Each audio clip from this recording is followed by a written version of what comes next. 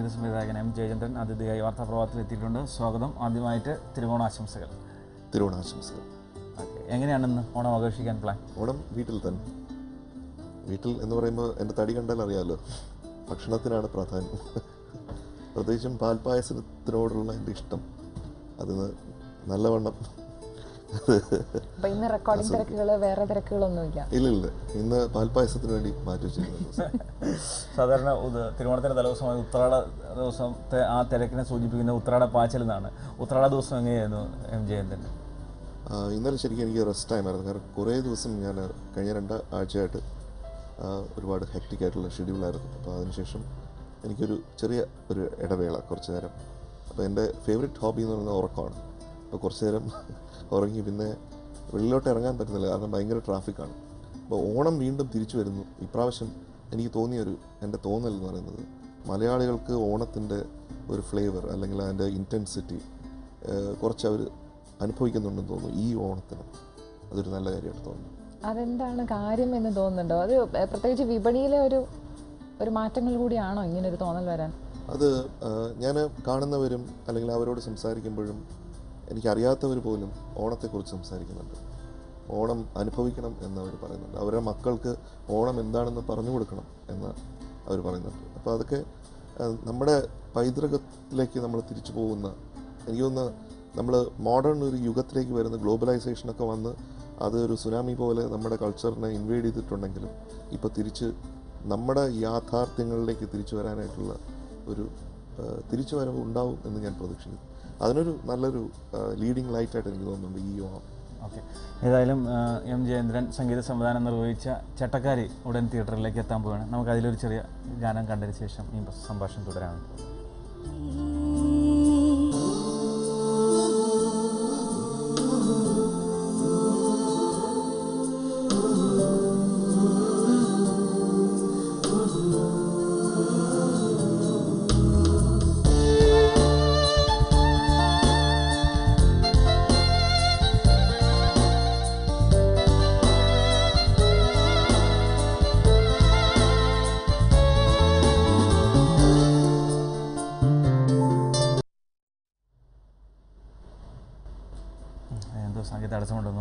ഏതായാലും ചട്ടക്കാരി ഉടൻ തിയേറ്ററുകളിലേക്ക് എത്താൻ പോവുകയാണ്. പഴയ സിനിമയാണ് അതിന്റെ റീമേക്കാണ്. ഇതിന് സംഗീത സംവിധാനം നിർവഹിച്ചപ്പോൾ എന്തായെങ്കിലും പ്രത്യേകത തോന്നിയോ? അല്ലെങ്കിൽ എന്തെങ്കിലും പ്രത്യേക തയ്യാറെടുപ്പുകൾ നടത്തിയിരുന്നു ഇതൊരു വലിയൊരു ചലഞ്ചായിരുന്നു. കാരണം ഇതിനു മുമ്പേ ചട്ടക്കാരി മലയാളത്തിലും ജൂലി ഹിന്ദിയിലും ചട്ടക്കാരിയുടെ സംഗീതം ചെയ്തിരിക്കുന്നത് എന്റെ ഗുരുനാഥൻ ദേവരായ മാസ്റ്ററാണ്. ഹിന്ദിയിൽ റോഷൻ സാറാണ് ചെയ്തിരിക്കുന്നത്. അപ്പോൾ ഇതിൽ രണ്ടിലും ലെജൻഡറി ആയിട്ടുള്ള സോങ്സ് ഉണ്ട്. രണ്ടിലും. അപ്പോൾ അതിന്റെ ഏഴായിരത്തെങ്കിലും നിൽക്കുന്ന പാട്ടുകൾ ചെയ്യാൻ പറ്റുക എന്ന് പറയുന്നത് തന്നെ ഏറ്റവും വലിയൊരു ചലഞ്ചാണ് അപ്പോൾ അത് ഏറ്റെടുത്തു. അത് എനിക്ക് തോന്നുന്നത് എന്റെ ഗുരുനാഥന്റെ തന്നെ ദേവരായ മാസ്റ്ററുടെ തന്നെ അനുഗ്രഹം കൊണ്ടാവണം ഈ പാട്ടുകൾ വളരെ നന്നായിട്ട് വന്നിട്ടുണ്ട് എന്നുള്ളതാണ് എന്റെ വിശ്വാസം. പ്രത്യേകിച്ചും യൂട്യൂബിലൊക്കെ നിലാവെ എന്നുള്ള പാട്ടിന് ഒത്തിരി വ്യൂസ് നിലാവിന്റെ രണ്ടുപേര് കാണാൻ പറ്റുമെന്ന് തോന്നുന്നു. ഇല്ല ക്ഷമിക്കണം. ഓക്കെ. അപ്പോൾ ഇതൊരു ശരിക്കും ഒരു ചാലഞ്ച് ആയിരുന്നു എന്ന് പറഞ്ഞു. ആദ്യ ചിത്രത്തിൽ സംഗീത സംവിധാനം നിർവഹിക്കുമ്പോൾ എന്തായിരുന്നു മനസ്സിൽ? ഇത് ഒരു അതൊരു പ്രൊഫഷനായിട്ട് എടുക്കും എന്ന് അന്ന് ഉറപ്പുണ്ടായിരുന്നു മനസ്സിൽ? ഞാൻ സിബി മലയിൽ സാറിന്റെ അക്ഷരം എന്നുള്ള സിനിമയ്ക്ക് വേണ്ടി പെരുമ്പാവൂർ സാറിന് വേണ്ടിയിട്ട് ഓർക്കസ്ട്രേഷൻ ചെയ്തിട്ടുണ്ട് പ്രസാദ് സമിതിയമം ലാബിൽ അപ്പോൾ ഉച്ച റെക്കോർഡിങ് കഴിഞ്ഞ സമയത്ത് ഒരാൾ എന്റെ അടുത്ത് വന്നു. കുറച്ച് മെലിഞ്ഞ ഒരാൾ എന്റെ അടുത്ത് വന്നിട്ട് പറഞ്ഞു. ഞാനാണ് ഗിരീഷ് പുത്തഞ്ചേരി ഞാനതിൽ കണ്ടിട്ടില്ല. ഇയാൾ കൊള്ളാലോ? എന്തായാലും അടുത്ത ഒരു പടത്തിൽ ഇയാൾക്ക് അവസരം ഞാൻ വാങ്ങിച്ചു തരും എന്ന് പറഞ്ഞു. അപ്പോൾ ഞാൻ അത് കേട്ടപ്പോൾ ഞാൻ ഞെട്ടിപ്പോയി. കാരണം ഞാനെന്താ അതൊന്നും ഉദ്ദേശിച്ചിട്ടില്ല. പെരുമാൾ സാറിന്റെ കൂടെ പോയി സാറെ വിളിച്ചുകൊണ്ട് പോയി എന്ന് മാത്രം അപ്പോൾ അത് കഴിഞ്ഞിട്ടാണ് ശ്രീ സുനിൽ ഡയറക്റ്റ് ചെയ്യുന്ന ചന്ത എന്ന് പറഞ്ഞ സിനിമയ്ക്ക് വേണ്ടിയിട്ട് എന്നെ ഗിരീഷേട്ടൻ വിളിക്കുന്നത്. അങ്ങനെ ഞാനതിനെ പോകുന്നത് ആദ്യം യത്തീമിൻ സുൽത്താൻ വന്നതെന്ന് പറഞ്ഞൊരു പാട്ട് ചെയ്തത് അപ്പോൾ ഒരിക്കലും പ്രതീക്ഷിച്ചതല്ല അത്തരത്തിലുള്ള ഒരു അവസരം. അപ്പോൾ ഞാൻ ഇതുവരെ എന്റെ യാത്ര എന്ന് പറയുന്നത് ഞാൻ കടപ്പെട്ടിരിക്കുന്നത് ഏറ്റവും കൂടുതൽ ഒരാളോടാണ്. അത് ഗിരീഷേട്ടനോടാണ്. ഈ ഓണത്തിന് ഗിരീഷേട്ടന്റെ ഓർമ്മകളും കൂടി നമുക്ക് ആ- ഓർമ്മകളിലും കൂടെ ഞാൻ ഇരിക്കേണ്ടതുണ്ടെന്ന് എനിക്ക് തോന്നുന്നു. ഓക്കെ ഇതിൽ നൂറാമത്തെ ചിത്രത്തിന് സംഗീത സംവിധാനം എന്ന് രതി നിർവേദം എന്ന ചിത്രമായിരുന്നു. അതും ഒരു റീമേക്ക് ചിത്രമായിരുന്നു. ഈ റീമേക്ക് ചിത്രങ്ങൾക്ക് സംഗീത സംവിധാനം നിർവഹിക്കുന്നതിന് അവാർഡുകൾക്ക് പരിഗണിക്കേണ്ടതില്ല എന്ന് മുൻപ് ഒരു തീരുമാനമുണ്ടായിരുന്നു ഈ പ്രാവശ്യം അത് മാറ്റുകയും ചെയ്തു. അതിനെക്കുറിച്ച് എന്താണ് ജയന്തിന്റെ പറയാനുള്ളത്? അല്ല ഒറിജിനലായിട്ട് ചെയ്യുന്ന എന്തിനും അവാർഡ് വേണമെന്നാണ് എന്റെ അഭിപ്രായം. ഇപ്പോൾ ടെക്നീഷ്യൻസ് ചെയ്യുമ്പോഴത്തേക്കും ചിലപ്പോൾ അതിന്റെ കഥയ്ക്കോ അല്ലെങ്കിൽ തിരക്കഥയ്ക്കോ നമുക്ക് അവാർഡ് കൊടുക്കാൻ പറ്റില്ലായിരിക്കും. പക്ഷേ അതിൽ എന്തൊക്കെയാണോ ഒറിജിനൽ എലിമെൻസ് ഉള്ളത് അതിനൊക്കെ അവാർഡിന് വേണ്ടി പരിഗണിക്കണം എന്നുള്ളതാണ് എന്റെ അഭിപ്രായം. പിന്നെ വേറൊരു കാര്യം വെച്ചാൽ മലയാളത്തിലെ സംഗീത സംവിധായകരിൽ കാണാത്ത വളരെ അപൂർവമായി കാണാവുന്ന ഒരു പ്രവണതയാണെന്ന് തോന്നുന്നു.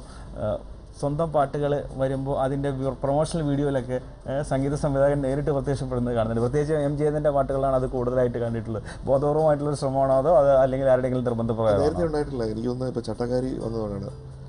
ഇതിലുണ്ടായിരുന്നു ഇതിലും ഉണ്ടായിരുന്നു അല്ലേ? അത് ശരിക്കും കമൽ സാർ തന്നെ അദ്ദേഹം തന്നെ ചെയ്തതാണ്. ഇത് സംബന്ധിച്ചിടത്തോളം ഞാൻ ശ്രേയയുടെ റെക്കോർഡിങ്സ് ചിലപ്പോഴൊക്കെ ഞാൻ മൊബൈലിൽ ഇങ്ങനെ നമ്മൾ ഷൂട്ട് ചെയ്യാറുണ്ട്.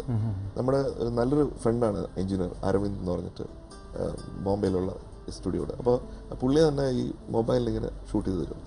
അപ്പോൾ പുള്ളി ഇപ്പോൾ പുതിയൊരു ക്യാമറ മേടിച്ചു ഒരു എച്ച് ഡി ക്യാമറയാണ് അപ്പോൾ അതിൽ വെറുതെ ഇത് ഷൂട്ട് ചെയ്യാം എന്ന് പറഞ്ഞിട്ട് അങ്ങനെ ഷൂട്ട് ചെയ്തു. ഷൂട്ട് ചെയ്ത് കഴിഞ്ഞ് സുരേഷ് ഏട്ടനെ കാണിച്ചപ്പോൾ സുരേഷൻ പറഞ്ഞു ഇത് നമ്മൾ മൂന്നാൽ പേര് മാത്രം കണ്ടാൽ പോരാ. ഇത് എല്ലാവരും കാണണം. അപ്പോൾ നമുക്ക് പാട്ടിന്റെ കൂടെ ഇങ്ങനെ ഒരു വിഷ്വൽ കൊടുക്കാം എന്ന് പറഞ്ഞിട്ട്. അങ്ങനെ ബോധപൂർവം അല്ലാതെ വന്ന ഒരു കാര്യമാണ്. ഓക്കെ.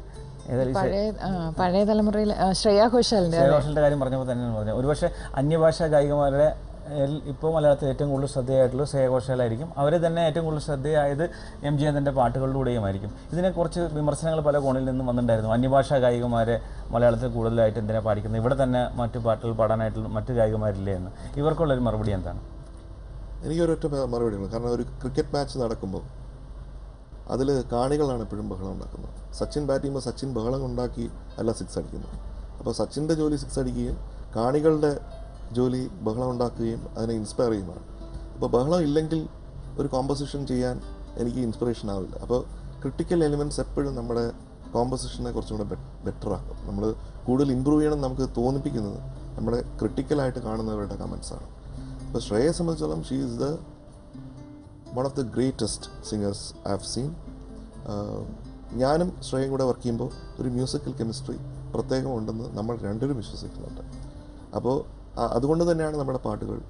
ഒരു പത്തോ പന്ത്രണ്ടോ പാട്ടുകൾ മാത്രമേ എനിക്ക് വേണ്ടി ശ്രേയ പാടിച്ചുള്ളൂ പക്ഷേ ഒരുപാട് പാട്ടുകൾ സംവിധാനം നിർവഹിക്കുമ്പോൾ എന്തായിരുന്നു മനസ്സിൽ? ഇത് ഒരു അതൊരു പ്രൊഫഷനായിട്ട് എടുക്കും എന്ന് അന്ന് ഉറപ്പുണ്ടായിരുന്നു മനസ്സിൽ? ഞാൻ സിബി മലയിൽ സാറിന്റെ അക്ഷരം എന്നുള്ള സിനിമയ്ക്ക് വേണ്ടി പെരുമ്പാവൂർ സാറിന് വേണ്ടിയിട്ട് ഓർക്കസ്ട്രേഷൻ ചെയ്തിട്ടുണ്ട് പ്രസാദ് എം ലാബിൽ. അപ്പോൾ ഉച്ച റെക്കോർഡിങ് കഴിഞ്ഞ സമയത്ത് ഒരാൾ എന്റെ അടുത്ത് വന്നു. കുറച്ച് മെലിഞ്ഞ ഒരാൾ എന്റെ അടുത്ത് വന്നിട്ട് പറഞ്ഞു. ഞാനാണ് ഗിരീഷ് പുതുഞ്ചേരി. ഞാനതുവരെ കണ്ടിട്ടില്ല. ഇയാൾ കൊള്ളാലോ? എന്തായാലും അടുത്ത ഒരു പടത്തിൽ ഇയാൾക്ക് അവസരം ഞാൻ വാങ്ങിച്ചു തരും എന്ന് പറഞ്ഞു. അപ്പോൾ ഞാൻ അത് കേട്ടപ്പോൾ ഞാൻ ഞെട്ടിപ്പോയി. കാരണം ഞാനന്ന് അതൊന്നും ഉദ്ദേശിച്ചിട്ടില്ല. പെരുമോ സാറിന്റെ കൂടെ പോയി സാറെ വിളിച്ചുകൊണ്ട് പോയി എന്ന് ഉള്ളൂ. അപ്പോൾ അത് കഴിഞ്ഞിട്ടാണ് ശ്രീ സുനിൽ ഡയറക്റ്റ് ചെയ്യുന്ന ചന്ത എന്ന് പറഞ്ഞ സിനിമയ്ക്ക് വേണ്ടിയിട്ട് എന്നെ ഗിരീഷേട്ടൻ വിളിക്കുന്നത്. അങ്ങനെ ഞാനതിന് പോകുന്നത്. ആദ്യം യത്തീമിൻ സുൽത്താൻ വന്നതെന്ന് പറഞ്ഞൊരു പാട്ട് ചെയ്തത്. അപ്പോൾ ഒരിക്കലും പ്രതീക്ഷിച്ചതല്ല അത്തരത്തിലുള്ള ഒരു അവസരം. അപ്പോൾ ഞാൻ ഇതുവരെ എന്റെ യാത്ര എന്ന് പറയുന്നത് ഞാൻ കടപ്പെട്ടിരിക്കുന്നത് ഏറ്റവും കൂടുതൽ ഒരാളോടാണ്. അത് ഗിരീഷേട്ടനോടാണ്. ഈ ഓണത്തിന് ഗിരീഷേട്ടന്റെ ഓർമ്മകളും കൂടി നമുക്ക് ആ ഓർമ്മകളിലും കൂടെ ഞാൻ ഇരിക്കേണ്ടതുണ്ടെന്ന് എനിക്ക് തോന്നുന്നു. ഓക്കെ. ഇതിൽ നൂറാമത്തെ ചിത്രത്തിന് സംഗീത സംവിധാനം എന്ന് രതി നിർവേദം എന്ന ചിത്രമായിരുന്നു അതും ഒരു റീമേക്ക് ചിത്രമായിരുന്നു. ഈ റീമേക്ക് ചിത്രങ്ങൾക്ക് സംഗീത സംവിധാനം നിർവഹിക്കുന്നതിന് അവാർഡുകൾക്ക് പരിഗണിക്കേണ്ടതില്ല എന്ന് മുൻപ് ഒരു തീരുമാനമുണ്ടായിരുന്നു. ഈ പ്രാവശ്യം അത് മാറ്റുകയും ചെയ്തു. അതിനെക്കുറിച്ച് എന്താണ് ചെയ്യുന്നത് പറയാനുള്ളത് അല്ല ഒറിജിനലായിട്ട് ചെയ്യുന്ന എന്തിനും അവാർഡ് വേണമെന്നാണ് എന്റെ അഭിപ്രായം. ഇപ്പോൾ ടെക്നീഷ്യൻസ് ചെയ്യുമ്പോഴത്തേക്കും ചിലപ്പോൾ അതിന്റെ കഥയ്ക്കോ അല്ലെങ്കിൽ തിരക്കഥയ്ക്കോ നമുക്ക് അവാർഡ് കൊടുക്കാൻ പറ്റില്ലായിരിക്കും. പക്ഷേ അതിൽ എന്തൊക്കെയാണോ ഒറിജിനൽ എലിമെൻസ് ഉള്ളത് അതിനൊക്കെ അവാർഡിന് വേണ്ടി പരിഗണിക്കണം എന്നുള്ളതാണ് എന്റെ അഭിപ്രായം. പിന്നെ വേറൊരു കാര്യം ചോദിക്കാൻ വെച്ചാൽ മലയാളത്തിലെ സംഗീത സംവിധായകരിൽ കാണാത്ത വളരെ അപൂർവമായി കാണാവുന്ന ഒരു പ്രവണതയാണെന്ന് തോന്നുന്നു. സ്വന്തം പാട്ടുകൾ വരുമ്പോൾ അതിന്റെ പ്രൊമോഷണൽ വീഡിയോയിലൊക്കെ സംഗീത സംവിധായകൻ നേരിട്ട് പ്രത്യക്ഷപ്പെടുന്നത് കാണുന്നുണ്ട്. പ്രത്യേകിച്ച് എം ജയതിന്റെ പാട്ടുകളാണ് അത് കൂടുതലായിട്ട് കണ്ടിട്ടുള്ളത്. ബോധപൂർവമായിട്ടുള്ള ശ്രമമാണോ അതോ അത് അല്ലെങ്കിൽ ആരുടെയെങ്കിലും നിർബന്ധപ്രകാരം നേരത്തെ ഉണ്ടായിട്ടില്ല. എനിക്ക് തോന്നുന്നു ഇപ്പോൾ ചട്ടക്കാരി വന്നതാണ് ഏഹ്, പെരുമഴക്കാലത്തിന്റെ ഇതിലുണ്ടായിരുന്നു അല്ലേ? അത് ശരിക്കും കമൽ സാർ തന്നെ അദ്ദേഹം തന്നെ ചെയ്തതാണ്. ഇത് സംബന്ധിച്ചിടത്തോളം ഞാൻ ശ്രേയയുടെ റെക്കോർഡിങ്സ് ചിലപ്പോഴൊക്കെ ഞാൻ മൊബൈലിൽ ഇങ്ങനെ നമ്മൾ ഷൂട്ട് ചെയ്യാറുണ്ട്. നമ്മുടെ ഒരു നല്ലൊരു ഫ്രണ്ടാണ് എഞ്ചിനീയർ അരവിന്ദ് എന്ന് പറഞ്ഞിട്ട് ബോംബെയിലുള്ള സ്റ്റുഡിയോയുടെ അപ്പോൾ പുള്ളി തന്നെ ഈ മൊബൈലിൽ ഇങ്ങനെ ഷൂട്ട് ചെയ്ത് തരും. അപ്പോൾ പുള്ളി ഇപ്പോൾ പുതിയൊരു ക്യാമറ മേടിച്ചു ഒരു എച്ച് ഡി ക്യാമറയാണ് അപ്പോൾ അതിൽ വെറുതെ ഇത് ഷൂട്ട് ചെയ്യാം എന്ന് പറഞ്ഞിട്ട് അങ്ങനെ ഷൂട്ട് ചെയ്തു. അപ്പോൾ ഷൂട്ട് ചെയ്ത് കഴിഞ്ഞാൽ സുരേഷ് ഏട്ടനെ കാണിച്ചപ്പോൾ സുരേഷൻ പറഞ്ഞു ഇത് നമ്മൾ മൂന്നാൽ പേര് മാത്രം കണ്ടാൽ പോരാ. ഇത് എല്ലാവരും കാണണം. അപ്പോൾ നമുക്ക് പാട്ടിന്റെ കൂടെ ഇങ്ങനെ ഒരു വിഷ്വൽ കൊടുക്കാം എന്ന് പറഞ്ഞിട്ട്. അങ്ങനെ ബോധപൂർവമല്ലാതെ വന്ന ഒരു കാര്യമാണ്. ഓക്കെ. പഴയ പഴയ തലമുറയിൽ ശ്രേയാ ഘോഷാലിന്റെ കാര്യം പറഞ്ഞപ്പോൾ തന്നെ പറഞ്ഞു ഒരുപക്ഷെ അന്യഭാഷാ ഗായികമാരുടെ ഇപ്പോൾ മലയാളത്തിൽ ഏറ്റവും കൂടുതൽ ശ്രദ്ധയായിട്ടുള്ള ശ്രേയഘോഷാലായിരിക്കും അവർ തന്നെ ഏറ്റവും കൂടുതൽ ശ്രദ്ധയായത് എം ജി പാട്ടുകളിലൂടെയുമായിരിക്കും. ഇതിനെ കുറച്ച് വിമർശനങ്ങൾ പല കോണിൽ നിന്നും വന്നിട്ടുണ്ടായിരുന്നു. അന്യഭാഷാ ഗായികമാരെ മലയാളത്തിൽ കൂടുതലായിട്ട് എന്തിനാണ് പാടിക്കുന്നത്? ഇവിടെ തന്നെ മറ്റു പാട്ടുകൾ പാടാനായിട്ടുള്ള മറ്റു ഗായികമാരില്ലേ എന്ന്. ഇവർക്കുള്ളൊരു മറുപടി എന്താണ്? എനിക്കൊരൊറ്റ മറുപടി ഉണ്ട് കാരണം ഒരു ക്രിക്കറ്റ് മാച്ച് നടക്കുമ്പോൾ അതിൽ കാണികളാണ് എപ്പോഴും ബഹളം ഉണ്ടാക്കുന്നത്. സച്ചിൻ ബാറ്റ് ചെയ്യുമ്പോൾ സച്ചിൻ ബഹളം ഉണ്ടാക്കി അല്ല സിക്സ് അടിക്കുന്നത്. അപ്പോൾ സച്ചിന്റെ ജോലി സിക്സ് അടിക്കുകയും കാണികളുടെ ജോലി ബഹളം ഉണ്ടാക്കുകയും അതിനെ ഇൻസ്പയർ ചെയ്യുമാണ് അപ്പോൾ ബഹളം ഇല്ലെങ്കിൽ ഒരു കോമ്പോസിഷൻ ചെയ്യാൻ എനിക്ക് ഇൻസ്പിറേഷൻ ആവില്ല. അപ്പോൾ ക്രിട്ടിക്കൽ എലിമെന്റ്സ് എപ്പോഴും നമ്മുടെ കോമ്പോസിഷനെ കുറച്ചും കൂടെ ബെറ്റർ ആക്കും. നമ്മൾ കൂടുതൽ ഇമ്പ്രൂവ് ചെയ്യണം നമുക്ക് തോന്നിപ്പിക്കുന്നത് നമ്മുടെ ക്രിട്ടിക്കലായിട്ട് കാണുന്നവരുടെ കമൻസാണ് അപ്പോൾ ശ്രേയയെ സംബന്ധിച്ചോളം she is the one of the greatest singers I have seen ഞാനും ശ്രേയയും കൂടെ വർക്ക് ചെയ്യുമ്പോൾ ഒരു മ്യൂസിക്കൽ കെമിസ്ട്രി പ്രത്യേകം ഉണ്ടെന്ന് നമ്മൾ രണ്ടുപേരും വിശ്വസിക്കുന്നുണ്ട്. അപ്പോൾ അതുകൊണ്ട് തന്നെയാണ് നമ്മുടെ പാട്ടുകൾ. ഒരു പത്തോ പന്ത്രണ്ടോ പാട്ടുകൾ മാത്രമേ എനിക്ക് വേണ്ടി ശ്രേയ പാടിയിട്ടുള്ളൂ. പക്ഷേ ഒരുപാട് പാട്ടുകൾ പാടി എന്ന് ആൾക്കാർക്ക് തോന്നുന്നുണ്ട്. അത് തന്നെ നമ്മുടെ ടീമിന്റെ വിജയമായിട്ടാണ് ഞാൻ എടുക്കുന്നത്. ശ്രേയയുടെ ഏറ്റവും വലിയൊരു അസറ്റായിട്ട് തോന്നിയിട്ടുള്ള എന്താണ്? ഹാർഡ് വർക്ക് ഒഴിച്ചു നിർത്തിയാൽ. Shreya is a wonderful person അതാണ്.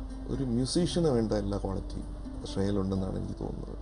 She is not just a singer ഒരു നല്ല മ്യൂസീഷ്യനാണ് ഒരു കോമ്പോസിഷൻ കേൾക്കുമ്പോഴത്തേക്കും ആ കോമ്പോസിഷണൽ എലിമെന്റ്സ് അതിനകത്ത് ആ സംഗീത സംവിധാനം ഒളിപ്പിച്ചു വെച്ചിരിക്കുന്നത് എന്താണെന്ന് മനസ്സിലാക്കാനായിട്ടുള്ളതും ആ ഹാർട്ടിനെ തൊട്ടറിയാനും ഉള്ള ഒരു കഴിവ്. That is I mean she is different in it ഏതായാലും ഇതിപ്പോൾ ഓണക്കാലമാണ്. ഈ ഓണക്കാലത്തെക്കുറിച്ച് ആലോചിക്കുമ്പോൾ മനസ്സിലേക്ക് വരുന്നൊരു പാട്ട് ഏതാണ് പെട്ടെന്ന്. എന്നും ചിരിക്കുന്ന സൂര്യന്റെ ചെങ്കതിർ ഇന്നെത്ര ധന്യതയാർന്നു. എനിക്ക് ഭയങ്കര ഇഷ്ടമുള്ള പാട്ടാണ്. രവീന്ദ്ര മാസ്റ്ററുടെ ഏറ്റവും ഇഷ്ടമുള്ള ഒരു രാഗം എന്താണ്? രാഗം അനുരാഗമാണ് ഏറ്റവും ഇഷ്ടം. നിർത്തിയാൽ.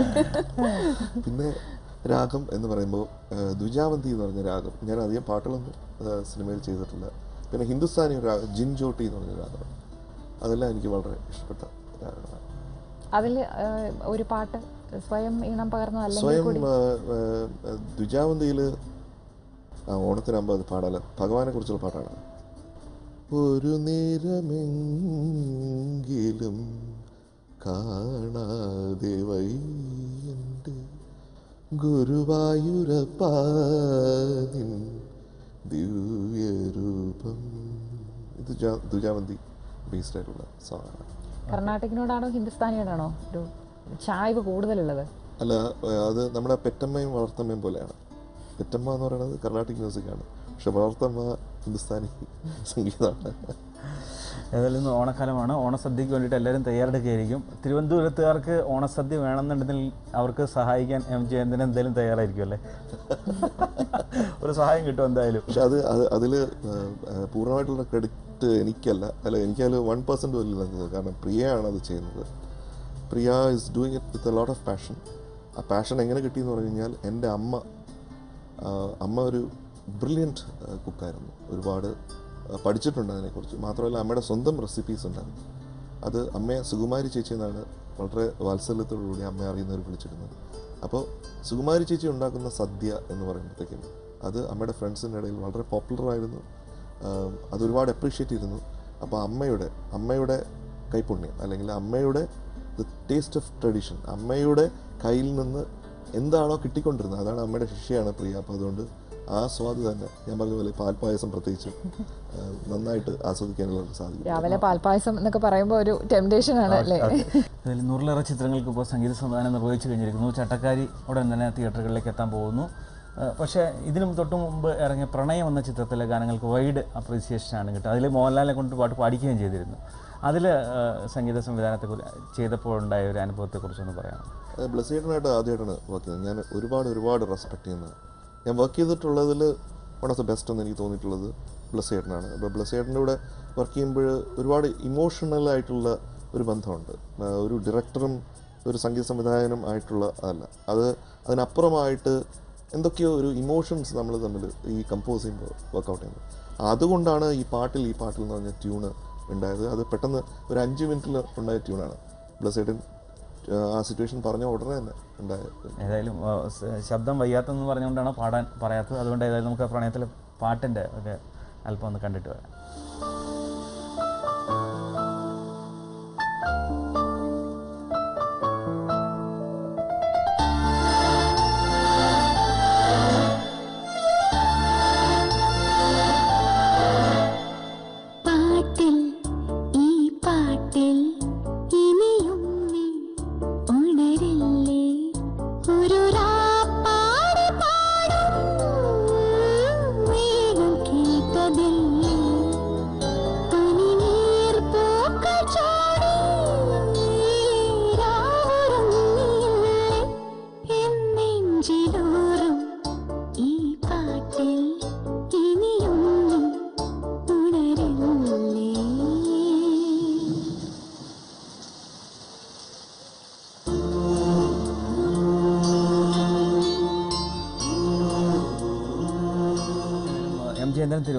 തിരുവനന്തപുരത്തുകാരനല്ലല്ലോ ഓണം പണ്ട് എവിടെയായിരുന്നു?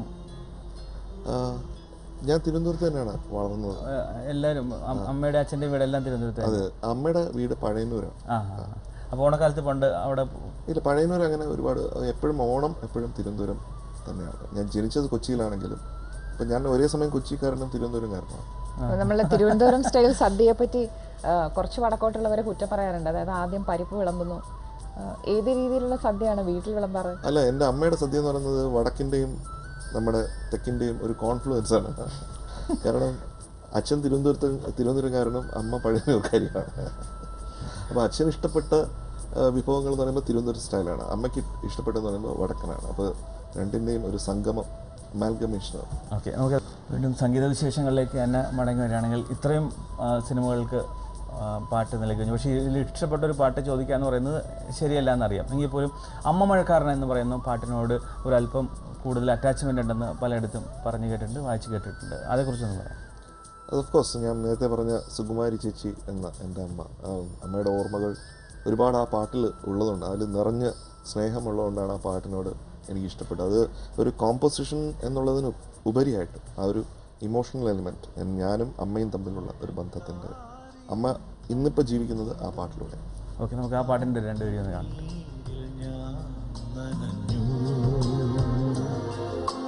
കന്നിവെയിൽ പാടത്തു കനലെരിഞ്ഞു.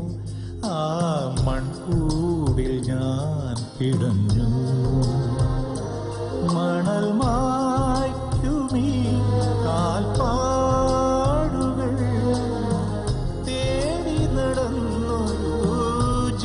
ജപസന്ധി അമ്മ മഴക്കാറിനു കണ്ണിറഞ്ഞു.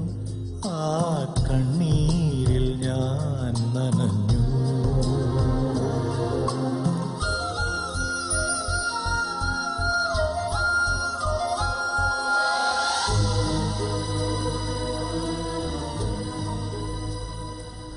ഇനിയിപ്പോൾ ഏതൊക്കെയാണ് പ്രൊജക്ട്സ് വരുന്നത്? ഇപ്പോൾ ചട്ടക്കാരി അടുത്ത റിലീസാണ്. അത് കഴിഞ്ഞിട്ട് വി കെ പി സാറുമായിട്ട് ആദ്യമായിട്ട് വർക്ക് ചെയ്യുന്ന ട്രിവാൻഡ്രം ട്രിവാൻഡ്രം ലോഡ്ജ് എന്ന് പറഞ്ഞിട്ട് വളരെ ഡിഫറെന്റ് ഒരു സബ്ജക്റ്റാണ് പിന്നെ എന്റെ വളരെ പ്രിയപ്പെട്ട സുഹൃത്ത് മോഹൻ ജി ഡയറക്റ്റ് ചെയ്യുന്ന നയൻ വൺ സിക്സ് കഥ പറയുമ്പോഴിന് ശേഷം മാണിക്കക്കലിന് ശേഷം പിന്നെ നിയമം പുഷ്പരാജേട്ടൻ ഡയറക്റ്റ് ചെയ്യുന്ന കുക്ലിയാർ എന്ന് പറഞ്ഞ പ്രോജക്റ്റ് പിന്നെ ഞാൻ വളരെ ഉറ്റുനോക്കുന്ന വേറെ രണ്ട് പ്രോജക്റ്റുകൾ ഒന്ന് ബ്ലസ്സിയേട്ടന്റെ കളിമണ്ണ് എന്ന് പറഞ്ഞു. It's very very different attempt അതിൽ കുറച്ച് എന്റെ കരിയറിലുള്ള വളരെ ഇമ്പോർട്ടന്റ് ആയിട്ടുള്ള ഒരു പാട്ട് ചെയ്തിട്ടുണ്ടെന്നാണ് എന്റെ വിശ്വാസം. പിന്നെ അതിനുശേഷം കമൽ സാറുമായിട്ട് ഞാൻ എപ്പോഴും കമൽ സാറുമായിട്ട് വർക്ക് ചെയ്യാൻ ഇഷ്ടപ്പെട്ടുള്ള ആളാണ്. പെരുമഴക്കാലം എനിക്ക് തന്നത് കമൽ സാറാണ്. അപ്പോൾ സ്വപ്ന സഞ്ചാരി ഞാൻ ചെയ്തു. അപ്പോൾ അതിനുശേഷമാണ് സെല്ലുലോയിഡ് എന്ന് പറഞ്ഞ ജെ സി ഡാനിയൽ അദ്ദേഹത്തിന്റെ ജീവിതം ബേസ് ചെയ്തിട്ടുള്ള ഒരു സ്റ്റോറിയാണ് അതിലും രണ്ട് പാട്ടുകൾ ചെയ്തിട്ടുണ്ട്. അപ്പോൾ ഈ പ്രോജക്ട്സൊക്കെ തന്നെ വളരെ വളരെ ഡിയർ ടു മീ ആണ്. ഇപ്പോൾ ഒരുപാട് പാട്ടുകാർ കടന്നു വരുന്നുണ്ട് പുതിയ തലമുറയിൽ ഇപ്പോൾ ധനുഷ് കൊലവെറിയുമായിട്ട് രംഗത്ത് വന്നു. ധനുഷ് തന്നെ ഒരു സ്റ്റേജിൽ പറഞ്ഞിരുന്നു ഇന്റർവ്യൂവിൽ പറഞ്ഞിരുന്നു. "ആ, ആർക്ക് വേണമെങ്കിലും പാടാം. എനിബഡി ക്യാൻ സിങ് അതാണ് ഇന്നത്തെ സാങ്കേതിക വിദ്യയുടെ ഒരു ആ ഒരു സാങ്കേതിക വിദ്യ ഇന്നത്തെ ഗായകരെ ഒരുപാട് സഹായിക്കുന്നുണ്ടോ? തീർച്ചയായിട്ടും സഹായിക്കുന്നുണ്ട്. കൊലവെറിയെ പറ്റി പറയുമ്പോഴത്തേക്കും I just want to add എന്ന് പറഞ്ഞു കഴിഞ്ഞാൽ എനിക്ക് വളരെ ഇഷ്ടമുള്ള പാട്ടാണ്. A catchy tune is something which grows on you എന്നാണ്. അങ്ങനെ ഗ്രോ ചെയ്യുന്ന ഒരു സാധനമാണ്. പാട്ടുകാർക്ക് ഒരു പ്രശ്നം ഇന്നത്തെ റെക്കോർഡിംഗ് സിസ്റ്റത്തിന്റെ ഒരു പ്രശ്നം എന്ന് പറയുന്നത് അവർക്ക് വളരെ എളുപ്പത്തിൽ ചിലപ്പോൾ പാടി പോകാൻ സാധിക്കും. കാരണം പിച്ച് കറക്റ്റ് ചെയ്യാനായിട്ടുള്ള സാധ്യതയുണ്ട്. അല്ലെങ്കിൽ വേറെ പല ന്യൂആൻസസും നമുക്ക് കറക്റ്റ് ചെയ്യാൻ പറ്റും. അപ്പോൾ മീഡിയോക്കറായിട്ടുള്ള പാട്ടുകാരെയും വലുതാക്കി കാണിക്കാനായിട്ട് ചിലപ്പോൾ ഇന്നത്തെ സാങ്കേതികയ്ക്ക് സാങ്കേതികയ്ക്ക് കഴിയും. കുറച്ച് അൺഹെൽത്തിയാണ് അവിടെ അതുകൊണ്ടാണ് നേരത്തെ ചോദിച്ചതിനുള്ള ഒരു ഉത്തരം കൂടെയാണ്. അതുകൊണ്ടാണ് ഞാൻ കൂടുതൽ ശ്രേയ ഘോഷലിനെ ഇഷ്ടപ്പെടുന്നത്. കാരണം ശ്രേയ ഘോഷലിന്റെ വോയിസിൽ നമ്മൾ അല്ലെങ്കിൽ ചിത്ര ചേച്ചി ഫോർ എക്സാമ്പിൾ അവരുടെ ഒന്നും വോയിസിൽ നമ്മൾ ടാമ്പർ ചെയ്യേണ്ട ആവശ്യമില്ല. അല്ലെങ്കിൽ അതിനെ നന്നാക്കാനായിട്ട് അവർ തേർട്ടി പെർസെന്റ് പാടി വയ്ക്കുകയും ബാക്കിയുള്ള എഴുപത് പെർസെന്റ് നമ്മൾ ആഡ് ചെയ്യേണ്ടി വരികയും ചെയ്യുന്ന ഒരു അവസ്ഥയില്ല എന്നുള്ളതാണ്. ഓക്കെ ഏതായാലും എം ബി എസ് സ്ക്വയറിലെ പഴയ ഗായകരിൽ നിന്ന് നൂറിലേറെ ചിത്രങ്ങൾ പിന്നിട്ട ഒരു സംഗീത സംവിധായകനിലേക്ക് എത്തിക്കഴിയുമ്പോൾ എം ജയേന്ദ്രൻ സ്വയം എങ്ങനെ വിലയിരുത്തുന്നു? എല്ലാം എന്റെ അമ്മയ്ക്കും അച്ഛനും എന്റെ ചേട്ടനും എന്റെ കുടുംബത്തിനും സമർപ്പണം. പിന്നെ ലക്ഷോപലക്ഷം മലയാളികൾ ത്രൂ ഔട്ട് ദി വേൾഡ് എന്നെ കാണുമ്പോഴേക്കും എനിക്ക് സ്നേഹം തരുന്ന. എന്റെ പാട്ടുകൾ ഹൃദയത്തിൽ കൊണ്ട് വയ്ക്കുന്ന. ഞാനെന്ന സംഗീത സംവിധായകനെയും ആസ് എ പേഴ്സൺ ഓൾസോ എന്നെ സ്നേഹിക്കുന്ന ഒത്തിരി ഒത്തിരി അവരോടുള്ള സന്തോഷമാണ് എനിക്ക് ഈ ഓണത്തിന് എനിക്കറിയാം ഓക്കെ ഏതായാലും വാർത്താപ്രവാസത്തിൽ ഇന്ന് തിരുവോണ ദിവസം അതിഥിയായതിന് വളരെയധികം നന്ദി. തിരുവോണ ആശംസകൾ. താങ്ക് യു അതുപോലെ അതെ നല്ലൊരു ഓണവും ഒക്കെ പ്രേക്ഷകർക്കും ഓഫ് കോഴ്സ് ഒരു പാൽപ്പായസം എല്ലാവർക്കും എന്റെ വീട്ടിൽ നിന്ന് തരണം എന്ന് ആഗ്രഹമുണ്ട്. പക്ഷേ എല്ലാവർക്കും എത്തിക്കാനുള്ള കേൾപ്പില്ല എന്നാലും എന്റെ മനസ്സിൽ നിന്നുള്ള പാൽപ്പായസം ഒരുപാട് അങ്ങോട്ട് കൊടുക്കുന്നു